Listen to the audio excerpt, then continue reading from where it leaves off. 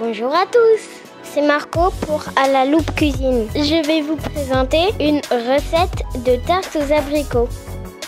Pour la liste des ingrédients, il nous faudra 1 kg d'abricots, 60 g de cassonade, 2 cuillères à soupe de poudre d'amande ou un petit peu plus si vous aimez ça, 30 g d'amandes effilées, un rouleau de pâte feuilletée et une gousse de vanille.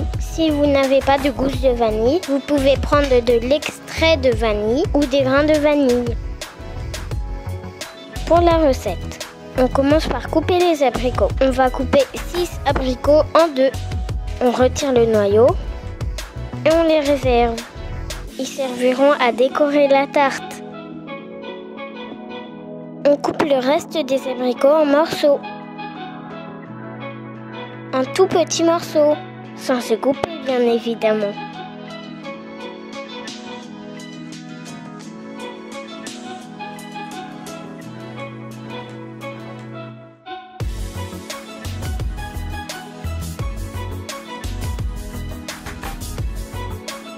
On va préparer une compote d'abricots avec les petits abricots en morceaux, auquel on ajoute 40 g de cassonade, la vanille et 2 cuillères à soupe d'eau.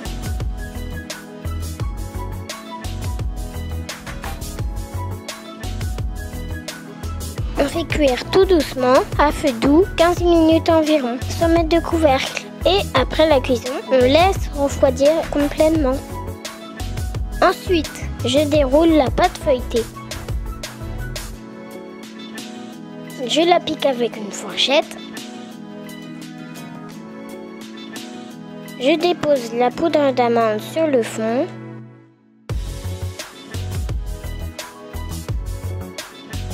Comme je sais comment on met un petit peu plus. Ensuite, je dépose la compote d'abricot sur la poudre d'amande. Je garnis avec mes 12 moitiés d'abricots, la face bombée sur la compote.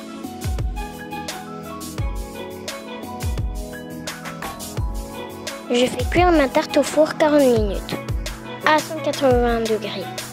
Au bout de 40 minutes, je la retire du four. J'ajoute 20 g de cassonade et des amandes effilées. Je remets au four à peu près 10 minutes pour laisser griller mes amandes effilées.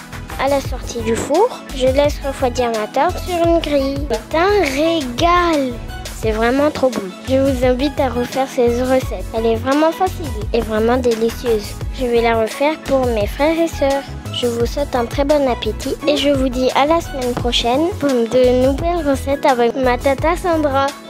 Si vous n'êtes pas déjà abonné, cliquez sur le logo à la loupe ici. À bientôt, bye